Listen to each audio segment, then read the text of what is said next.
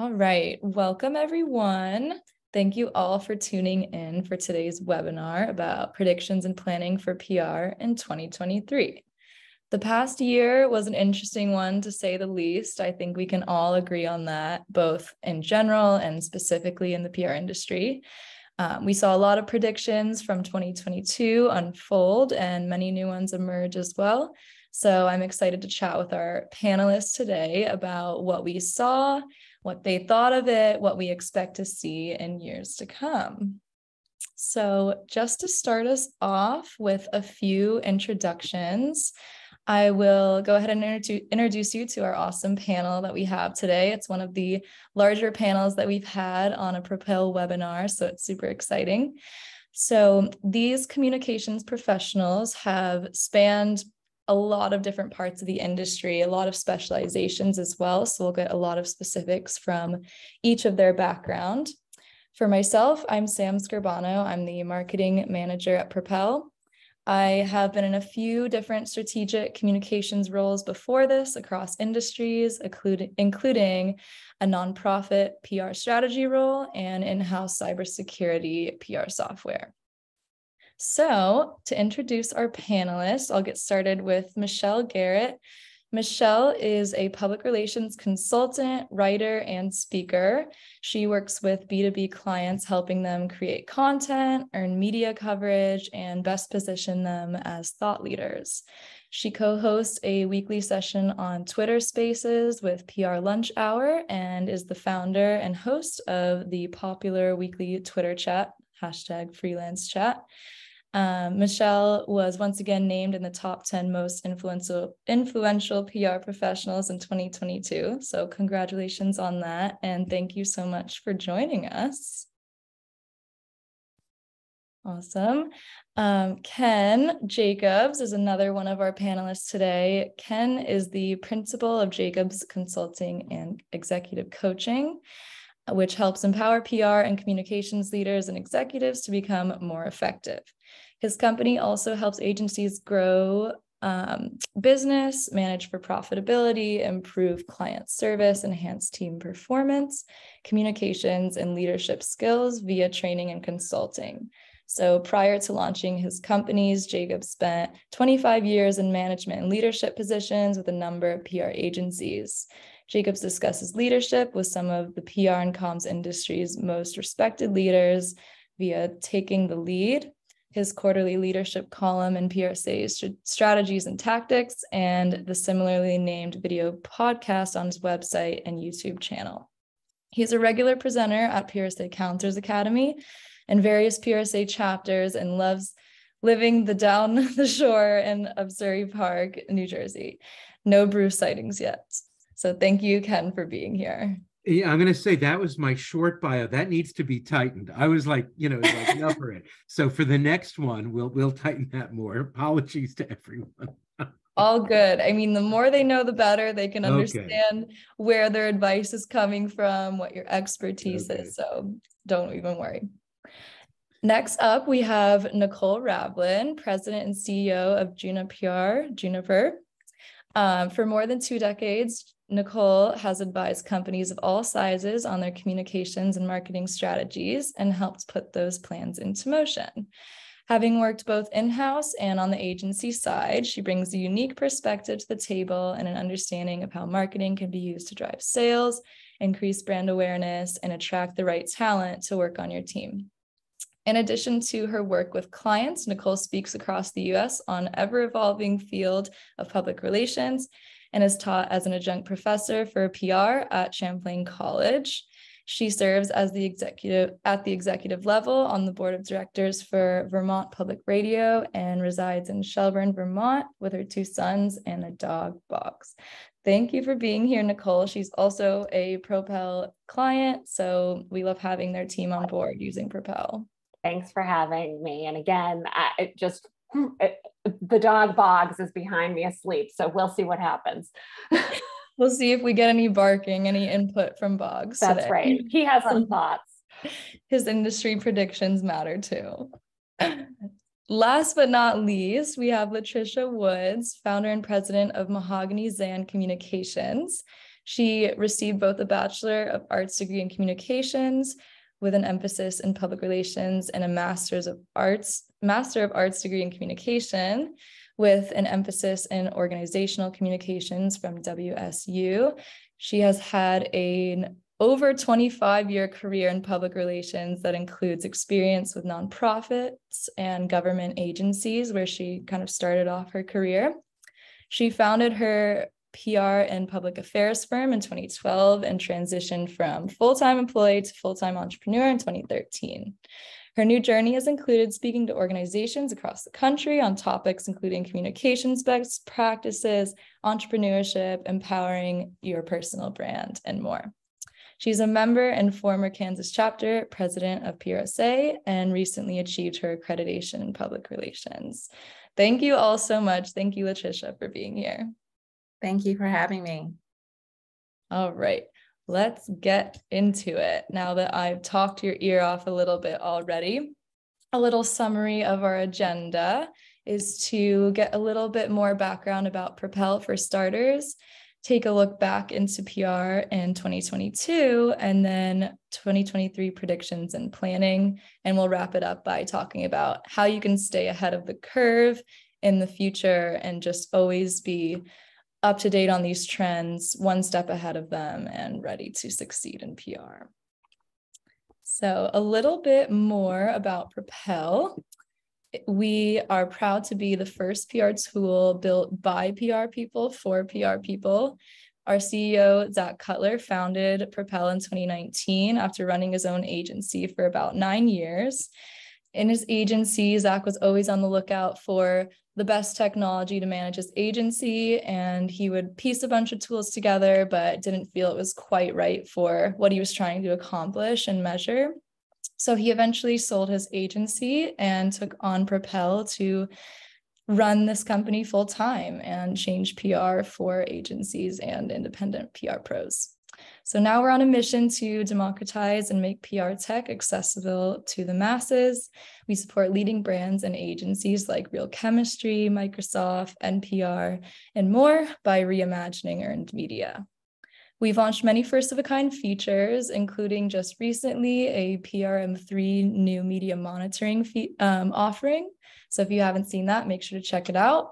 And the first Gmail and Outlook integrated plugins. So that's enough about us. Let's get into what you're here for, which is a planning and prediction session about 2023's PR landscape. So let's take a look back at PR in 2022 because it's only natural we consider the past year before planning for the next. So Here's a list of just a handful of some of the top predictions we saw across news outlets, across discussions and planning sessions moving into this year. So I wanted to start out by asking our panelists a little bit more about which trends stood out to them as actually a bit of the undertone of this year, um, which ones maybe didn't stand out so much, what did we not expect, what do you think no one saw coming at all? So, Ken, I'll go ahead and put you on the spot first today. Okay. Are there any trends you saw when working with your agency leader clients that you thought were actually very strong predictions early on in the year? Which background for everyone here, the majority of Ken's um, executive leader clients are actually in the PR space. Thank you. So, you know, I would say there were some on here that I definitely saw happen and some that I think are great for our business and our industry. DE&I certainly. Um, two that I don't like as much, only because I can't imagine doing TikTok videos. But but the whole notion of influencer marketing and video content, happy and agree. Podcasting becomes more and more and more important. So I see all of those, and I think um, trust absolutely critical. So I think perhaps most of your uh, audience, uh, you know, are focusing on trust as it relates to PR and PR success. My focus is always through the leadership lens And so I would just say, as you look to the importance of trust from brands and in PR, I think the critical notion of if you want to be an effective leader in 2022, and I think in 2023, the importance of building trust, absolutely critical. Always was critical, became more important last year, becomes more important as we look to the future.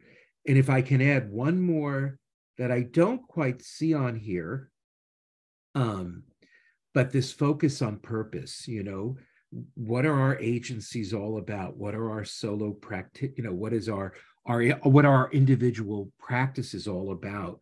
You know, what it, what purpose do our clients have? Agency, big, small, individual, and all our clients. The notion of purpose, I think, got for me much bigger last year, and I think that'll continue.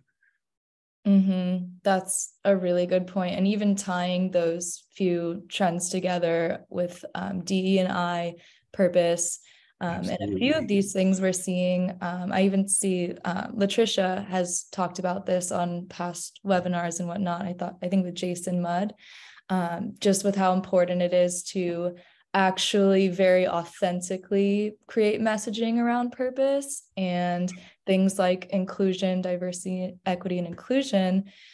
Sometimes it's hard for an audience to know what is authentic and what brands are actually bringing to the table and just finding very strategic and authentic ways of doing that is so important of course now more than ever uh, bringing it over to Latricia and Nicole, who both run their own agencies, I'm curious to hear what you think, just building off of what Ken has shared, what you've felt running your agencies kind of come together in some of these trends and what you noticed the most this year in PR from an agency owner perspective.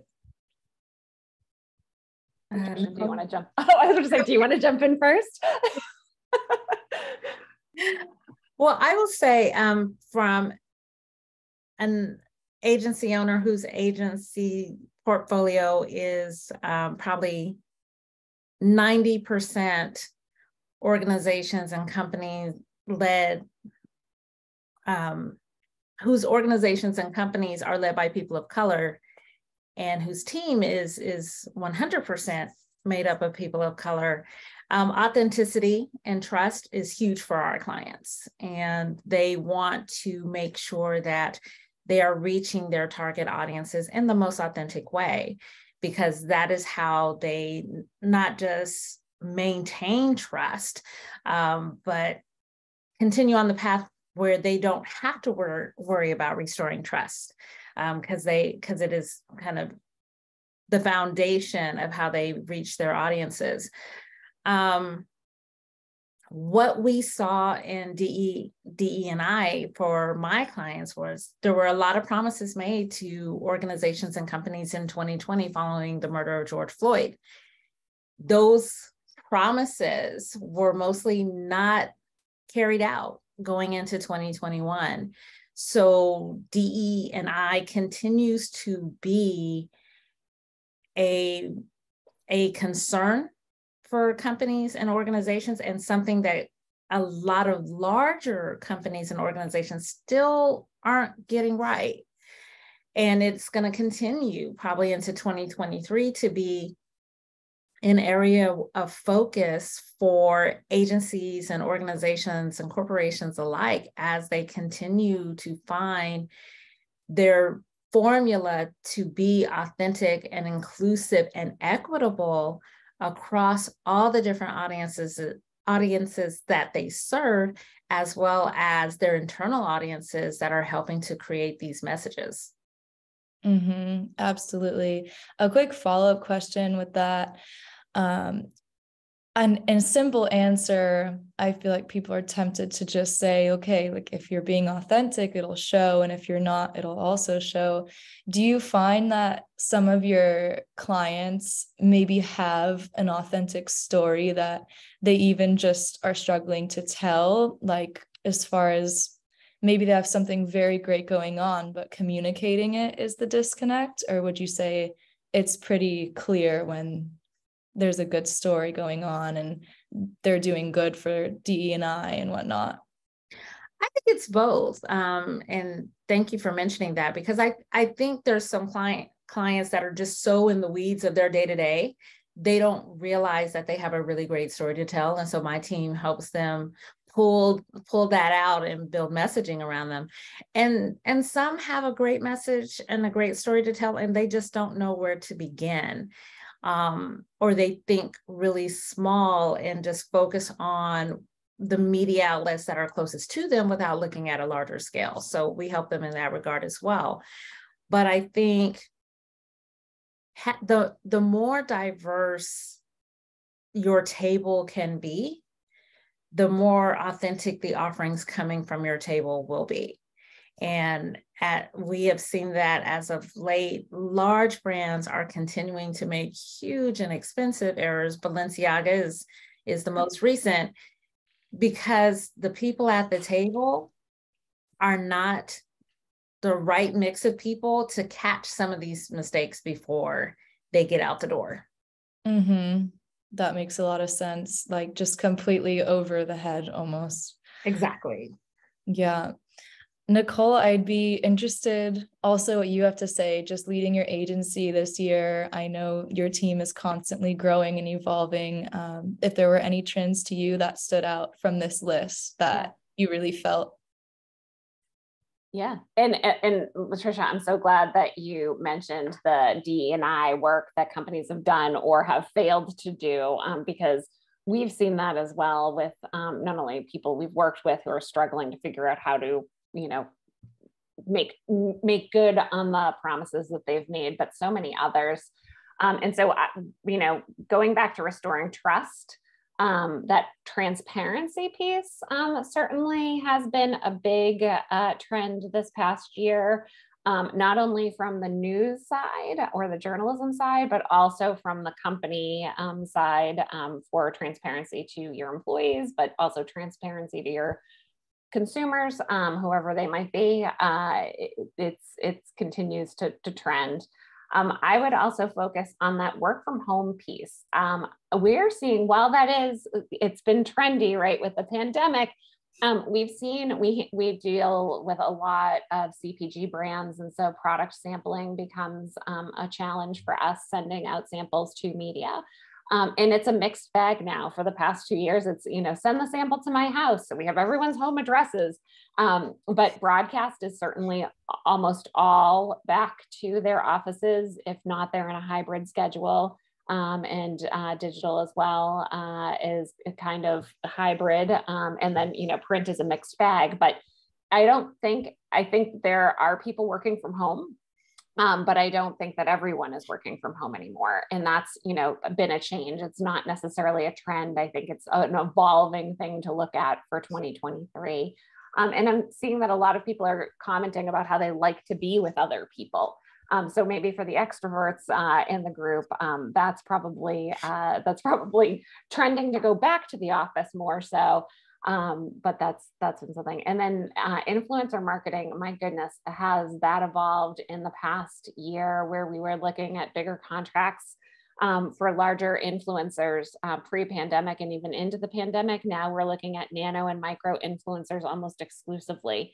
Um, and that's been a real change um, over the course of 2022 for, for our clients.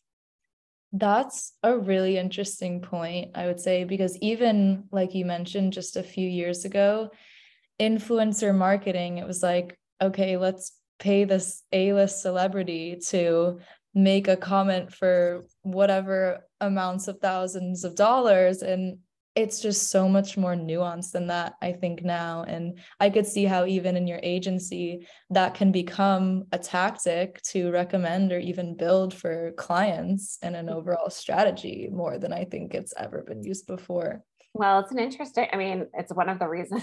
Not to make this a sales uh, salesy for Propel, but it is one of the reasons that we love using Propel. Is being able to show all the way through to our clients what the value of a media placement actually has done for them. It's true with the influencer side too, which is not a Propel feature yet, um, but a lot, uh, showing um, showing that you know if you're going to partner with an influencer and spend tens of thousands of dollars for a post you have to be able to prove the sales on the other end and, and there's some multiple right of what is going out the door that needs to come back in. So if it's $10000 times four or whatever needs to come back in in sales and unfortunately the influencer game has changed so much um, that the value or what what the clients are seeing back in terms of sales to support that spend doesn't make sense where you can use affiliate marketing or you can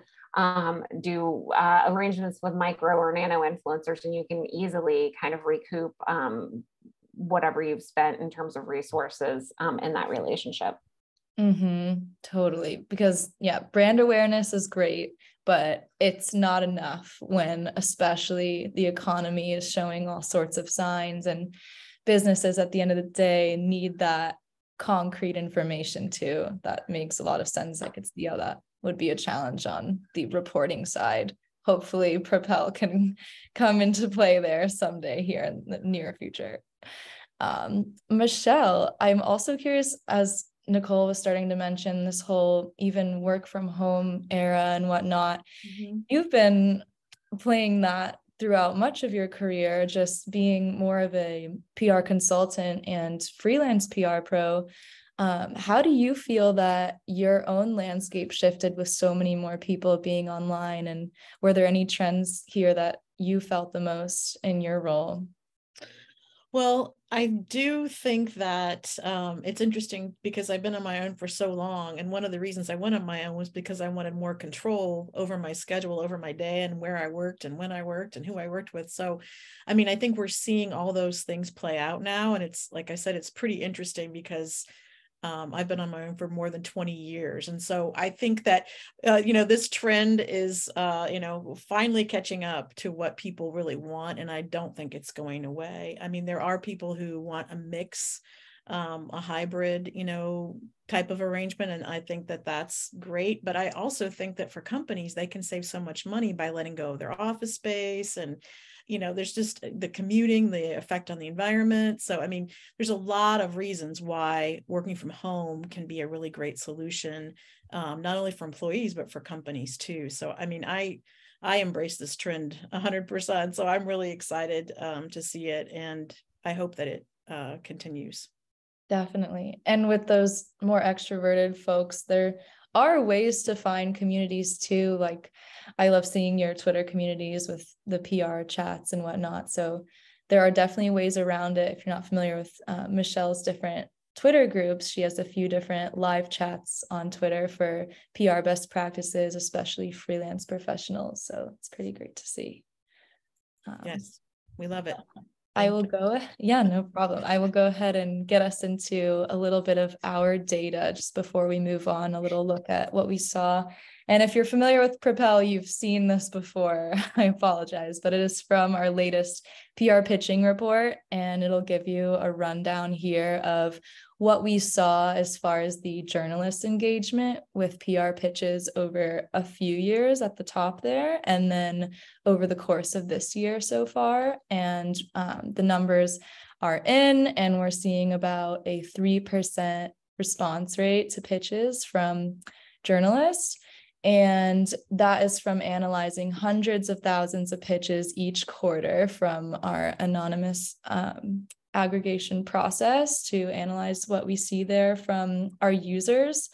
So not very encouraging numbers. We spoke with uh, Radioactive's leadership team a few days ago, actually, on a webinar, and Rich Leigh had a really fun, hot take on that, which is that maybe the response rate is so low because pitches are so good, they don't even need a response, and the article is just going straight to publish. So that would be awesome. But I imagine there's a lot more at play you, here. You can track that in your business outcomes dashboard. you can. If you are a Propel user, you can get to the bottom of that. But for the industry conversation, um, yeah, it's it's pretty crazy to see those numbers. Uh, Michelle, I kind of wanted to ask you what you think about this, especially as a kind of more freelance PR pro what do you think about these numbers as far as your own experience has gone pitching journalists over the years mm-hmm. and how engagement has shifted? Have you noticed a shift? Yes, it's getting harder, right? I mean, there's no doubt about it. Um, we can look at the numbers, but we know, those of us who are in the trenches know that it's getting harder.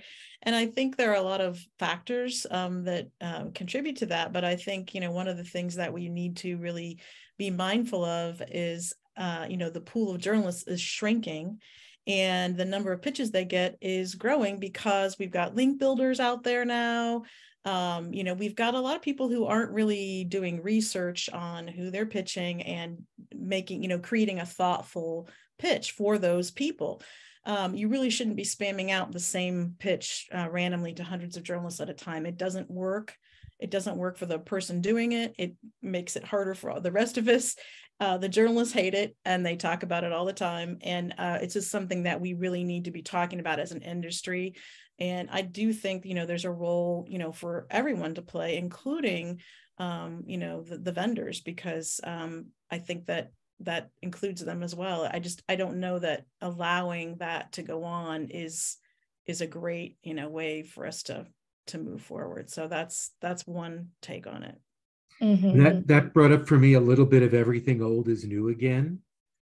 I was in the business as a young publicist, young public, you know, uh, uh, early 80s. Um, and um, some of you weren't even alive then. And the, the notion of, we didn't say don't spam, we didn't use that word, but the idea of fine tuning your pitch, of understanding the media outlet, of understanding their audience, of being of true value to them that's where success came from. That notion is now that, you know, four decades ago. So some things don't change. The good news is you all have a lot more tools, I think, to get it right. You're, but the willingness, I think, has to be there. So it just made me laugh a bit. That makes, I mean, mm-hmm. Ken, just to build off of that, like that's actually really funny. I'm looking at this and I'm trying to, I'm thinking back to my young publicist days in the early 90s and and you know as email was coming online but you certainly weren't pitching via email. You were calling down you're doing call downs and you were calling to be like are you on deadline? and praying to god that they wouldn't scream at you.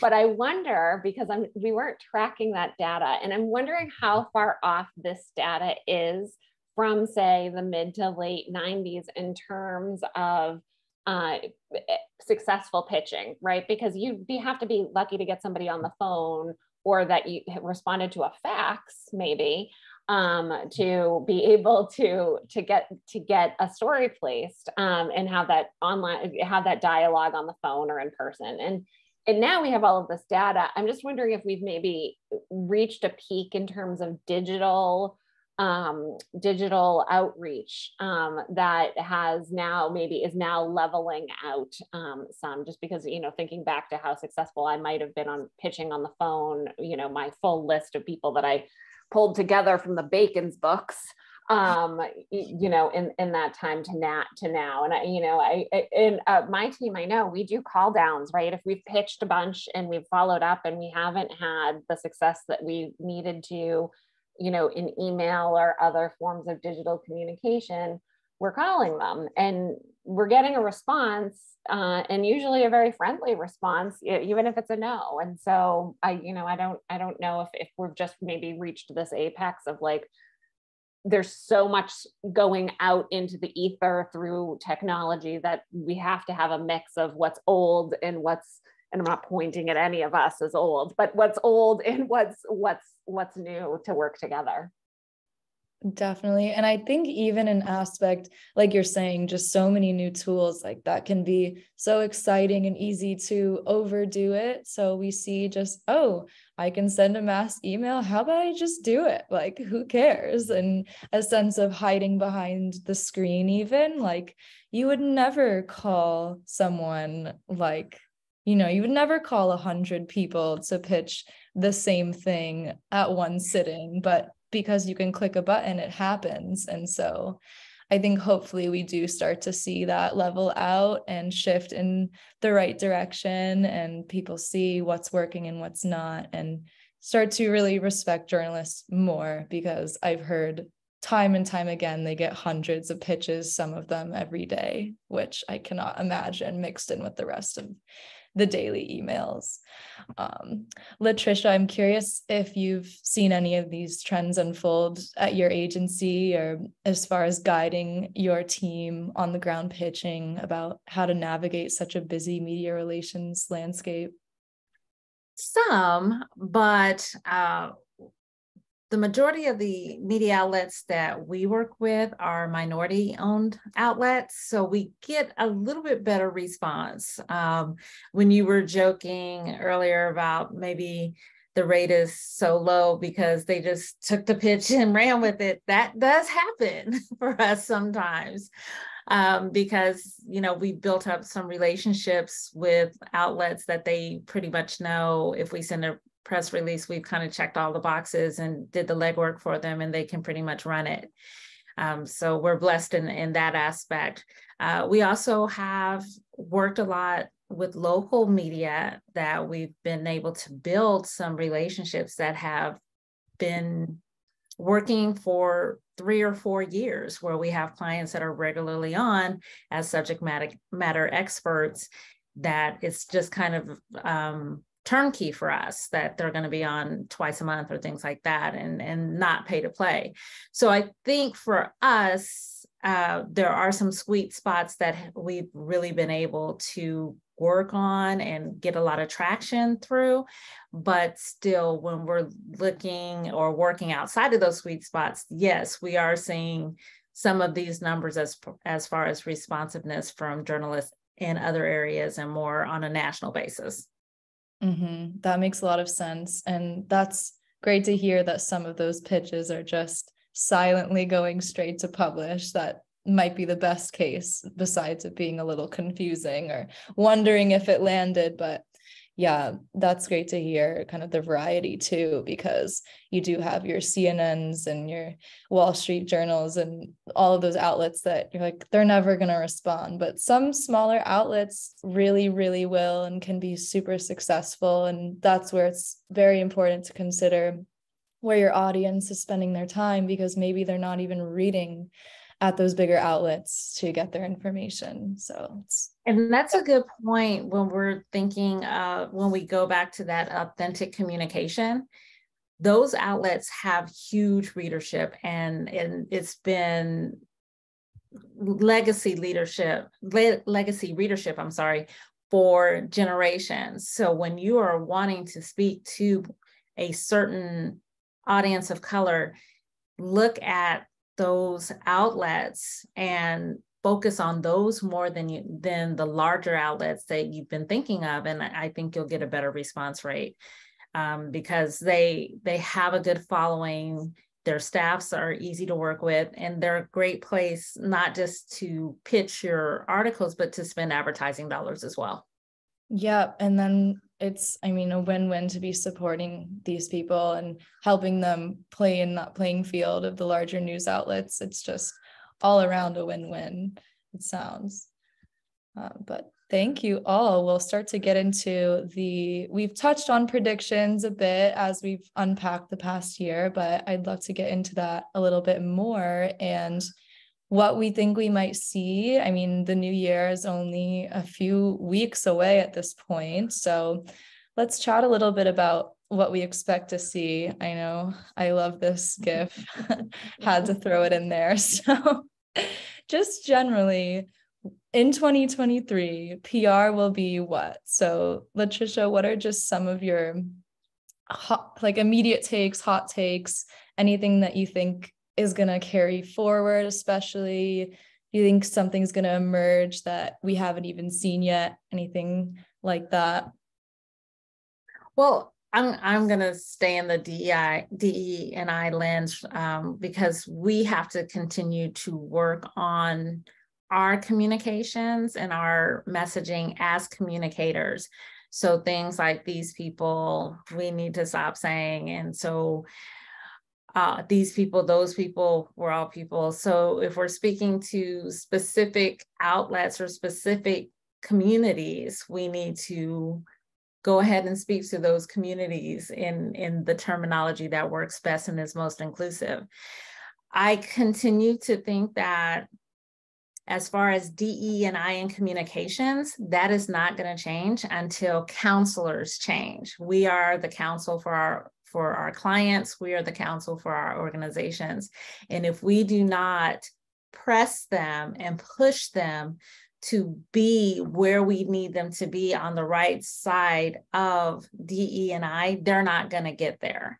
So we have to step up and be the conscience for our clients and the conscience for our organizations so we can truly impact the change in DE and I as far as communications that we wish to see.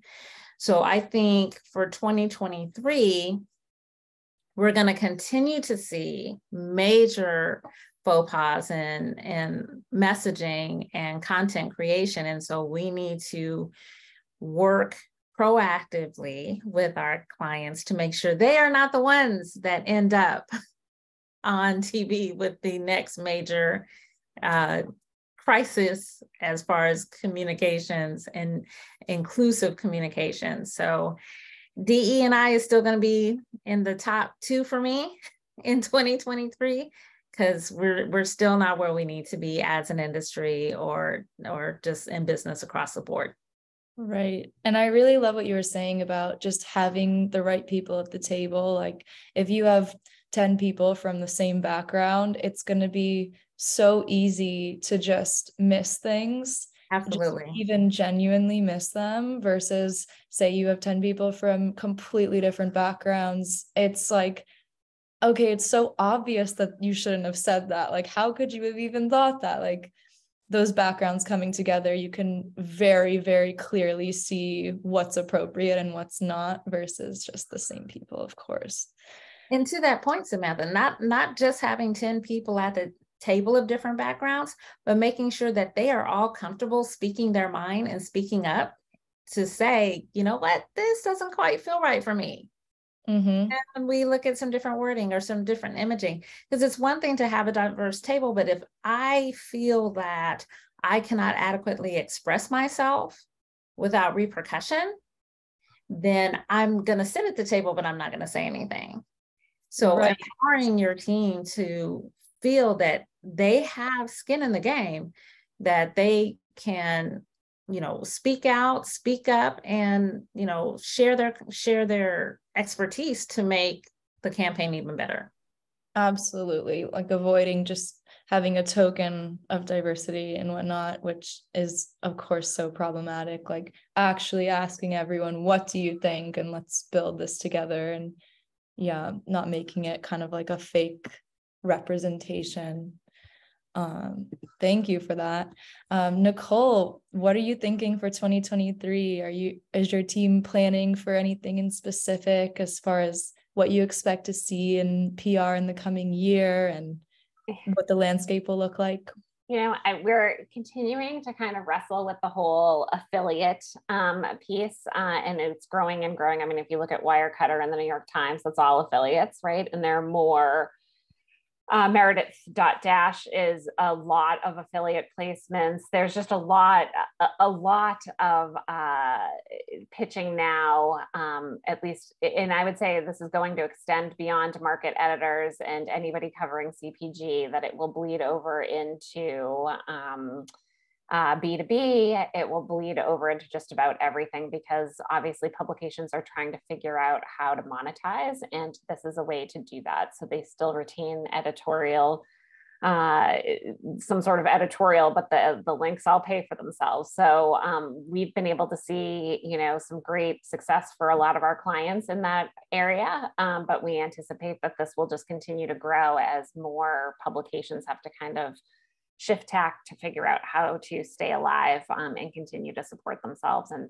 the journalists that work for them. So we're bracing for that. Um, that's been an interesting learning curve. Um, and then, you know, really we're we're doing a lot more with our clients to help them really understand them and decipher the meaning, the work that we're doing and how it's impacting their business um, in in all all of the ways. So certainly the data is really important that we're able to share with them, but also um, just helping them learn about how far reaching communications is within their organizations, within their local communities, um, in addition to their customers. And so, um, you know, we're, we're doing a lot of kind of deep dives um, that are, that were kind of not taken for granted previously, um, because they weren't, but because of the way social media works and our online communities work now, I think communicators, our profession, our work is even more vital. Um, but there's just a lot more ground to cover. Absolutely. There's a lot to plan for. And I think the time and the way things change only just exponentially increases. So that's important to be thinking about all of this now, of course. Uh, Michelle, what are you thinking, especially just from your more uh, unique lens as an independent PR pro? What are you planning for now? What do you think we'll see in 2023 for independent practitioners? I think a lot of independents are looking at the possibility of a recession, and I think that that can be an opportunity for um, independents because as companies uh, lay people off, they still need to get the work done, the projects done.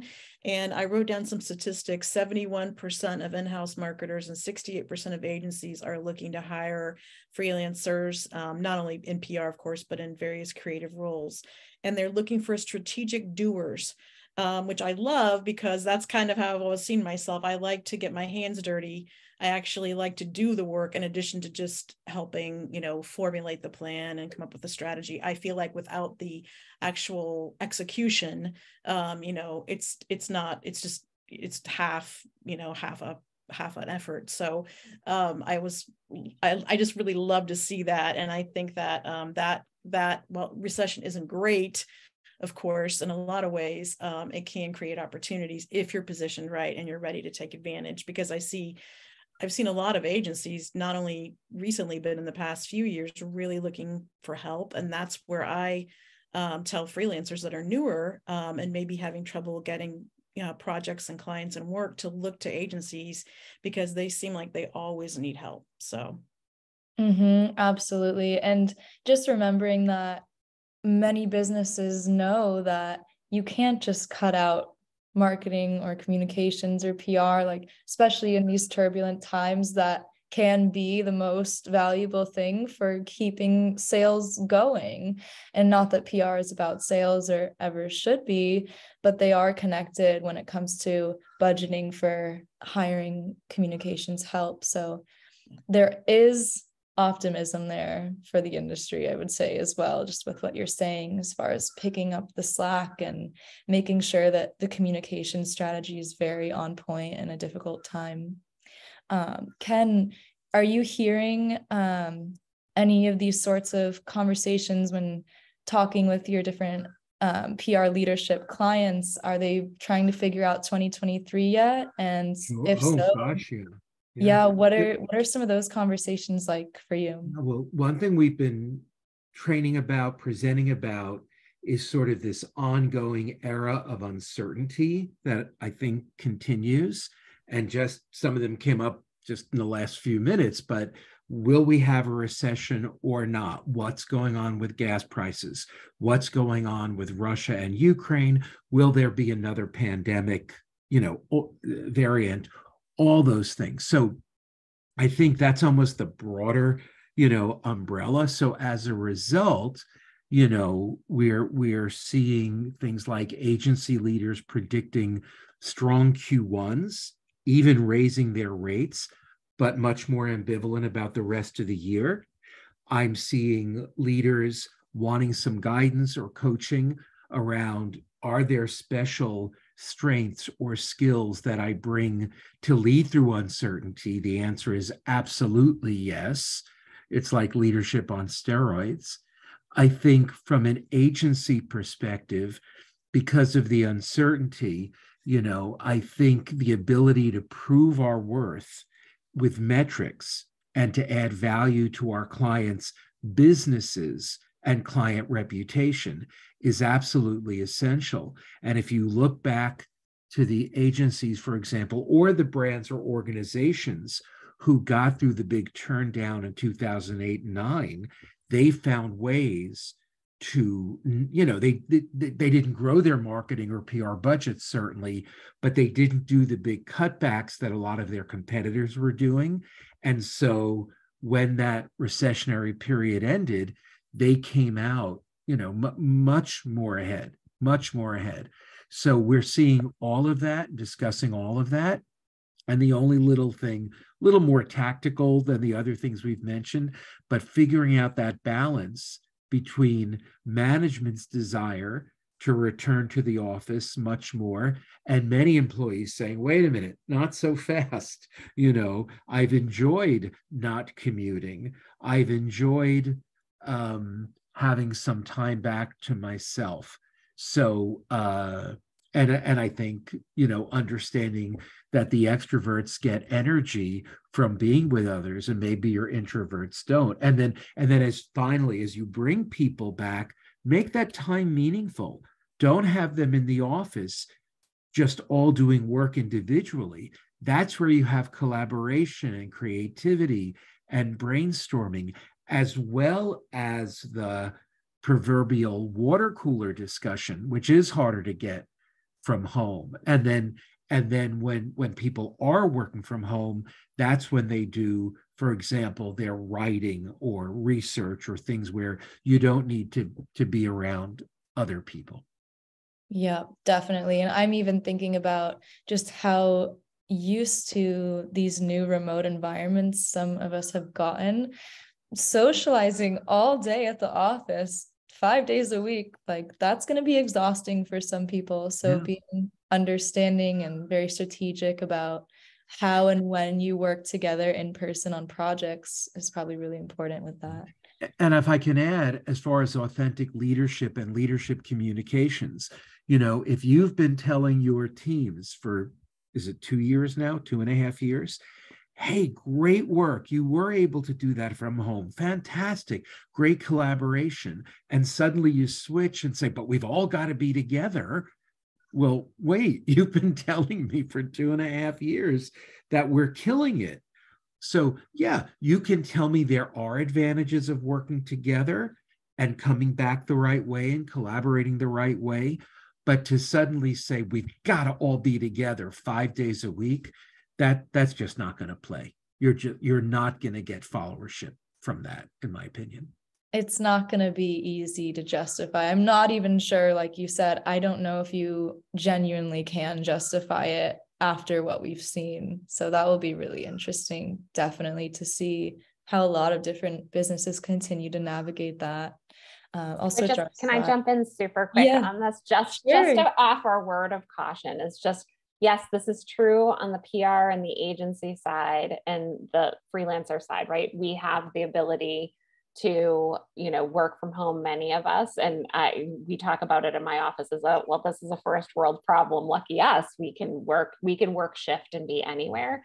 But remember if you're producing a story for npr or on nbc news or anywhere else you have to like they've made accommodations to get people at home as much as they could during the pandemic and because of the nature of those businesses they've had to shift back to work so just to think about as you're talking about this as a whole, our industry, PR, marketing, advertising, right?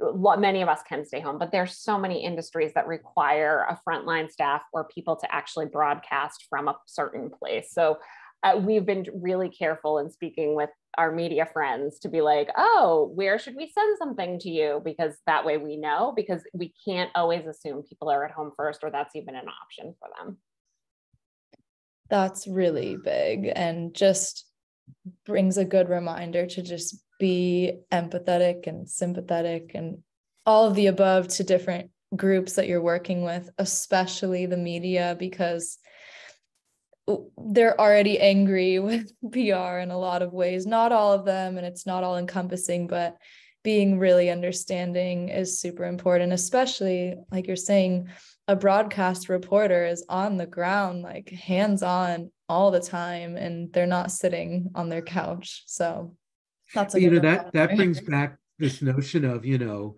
don't be that guy or that woman with with so many publicists and PR folks still getting it wrong and i don't think it's the majority by any means. I don't even know that it's a big minority. But when they get it wrong if you're getting it right you're still going to stand out to that media person as the one who helped me do my job.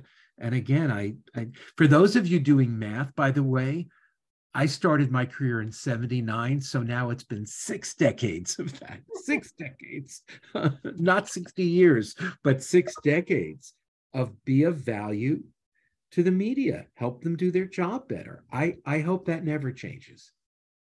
Absolutely. But I, I will I will say in, in working with the media because because we're still in this strange position, don't be afraid to ask them what their preference is, especially if you have a client that's that would prefer to be um, interviewed via Zoom because of their their what they have to work with. Like I, I have a client that's that's an OBGYN. She does not want to put her patients at risk anymore than she has to. So when they interview her, we're like, can we do this via Zoom? And they understand she's a doctor and she's seeing patients. They're like, we're more than okay with that. So don't be afraid to advocate for your clients as long as you're helping that media outlet get what they need. And then it's a win win on both sides. Absolutely. Just showing understanding. And of course, both groups have their goals. Everyone's doing their job. So that is true. We we do have to stick up for what we're doing as long as we're doing it in an appropriate, respectful way. Um, Michelle and I talked a little bit earlier before this about misinformation and how to approach that in from a PR lens and as we move into a new year. Uh, Michelle, I was curious if you wanted to share a little bit about what you recommend in preparing for a new year in PR. You mentioned you had some advice or suggestions about how to combat um, probably another year of battling misinformation and battling trust issues with the media and PR.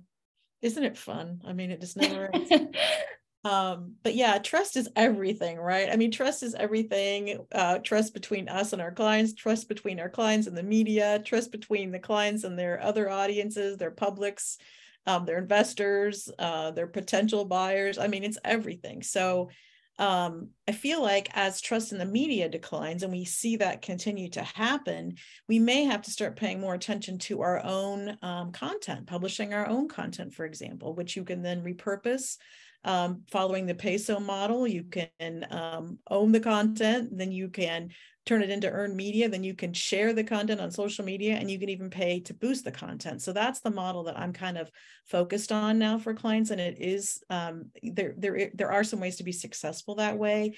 Focusing on industry trades for example their staffs are shrinking they need content they love great um, thought leadership articles and subject matter experts to interview and things like that. So I think that's a good place to focus.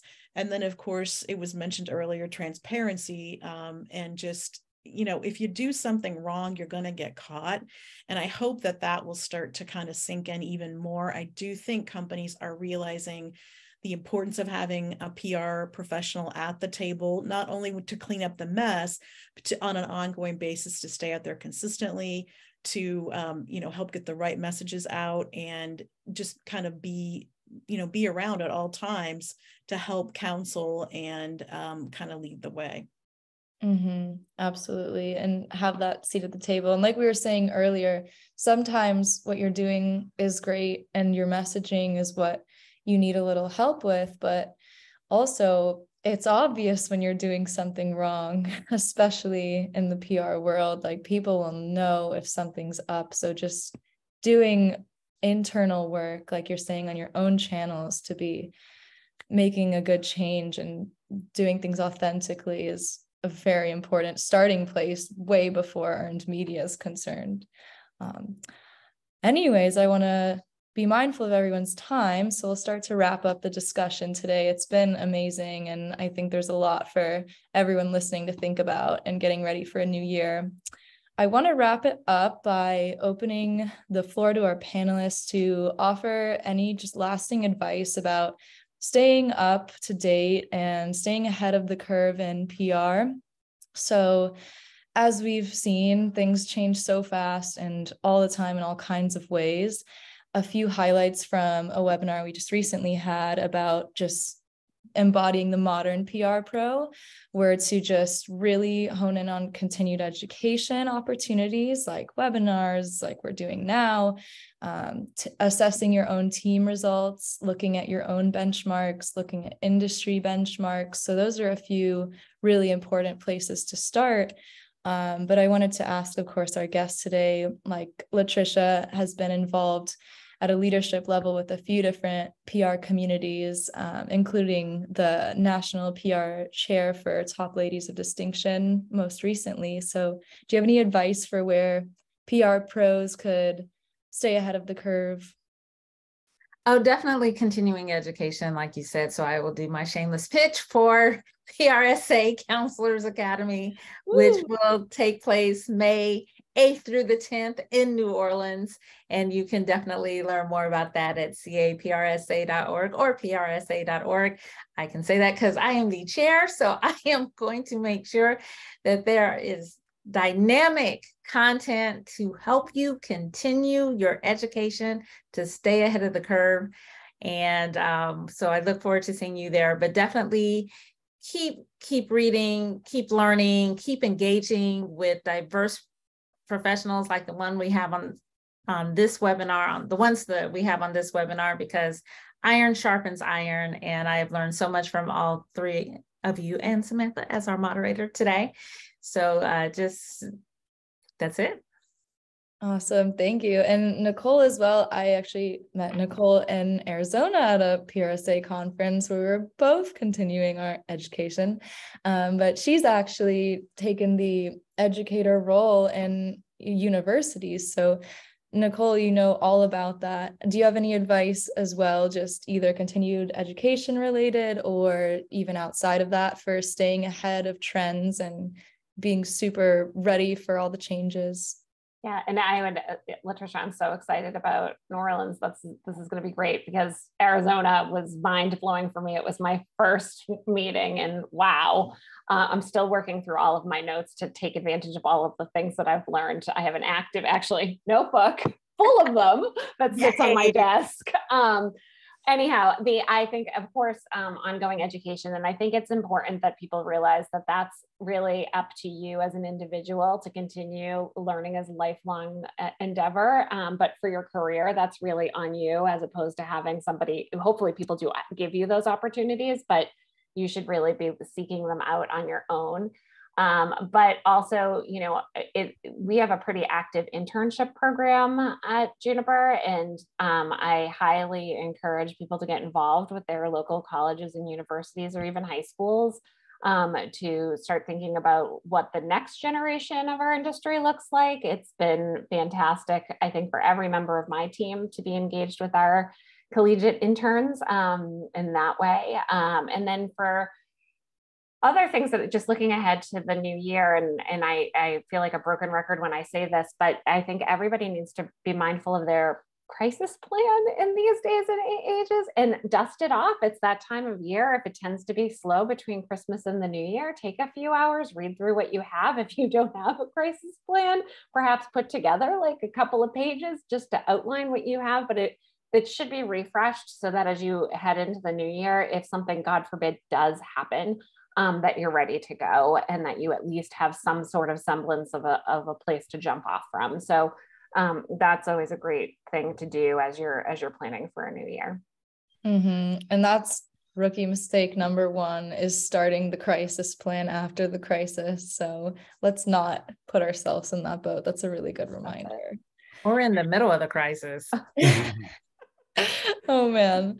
Okay. I don't even want to get into it on this moment. Um whole another webinar. Yeah that's that could be a whole hour in itself or much more. Um michelle what what do you have as your advice to staying ahead with the curve? You run your own continuing education workshops if you will on twitter um, and offer so much great advice in different articles I've seen. Um, what do you what do you like using to stay ahead of the curve personally? Well, I mean, I think you're only as good as the company you keep. So I love to follow people like Gini Dietrich, like Frank Strong, for example. They are um, a couple of folks that I learn a lot from, and I I follow them and read what they share. I think obviously webinars, um, and um, I think I hope that Twitter stays around because I just learn so much from engaging um, with other PR pros there. And we do have our um, space every Friday at noon, PR lunch hour, where we um, you know we kind of get an idea of what is on people's minds um, pr and comms pros. So i think that that's been a really um, a really great way for for me to kind of stay on top of what's uh, what's on people's minds. Awesome. Thank you. And ken last but not least any yeah. lasting so advice? I've got four but they're fast. But since we've re- referenced Gini you know it is the peso model tm which was created by Gini Dietrich of Arment Dietrich. Just going to give her that little hat tip.